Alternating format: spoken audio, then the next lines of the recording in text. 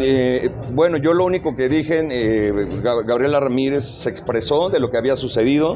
Yo lo dije públicamente. Sí, le agarré una bubi a Gaby Ramírez. Fue en un programa de televisión.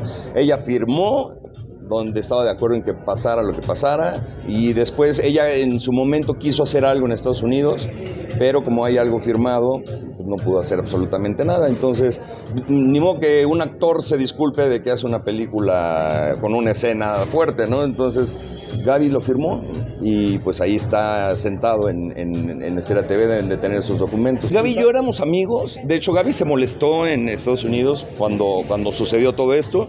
Después ella misma me mandó unas flores diciéndome plátano, perdona, me la regué, me dejé llevar. Es que ella dice que fue eh, obligada. Para ah, no, bueno, ahí sí tendría que proceder ella en contra de quien la obligó, pero según yo fue sincera la disculpa. De hecho, vengo con mi esposa, ella estaba en el camerino cuando Gaby hizo una broma que me dijo, plátano, ya, agárrame la bubi. Y ella misma este, volvió a hacer que la agarraba la, la bubi en el camerino. Efectivamente, su padre, el mago Jarramí, es, amigo mío.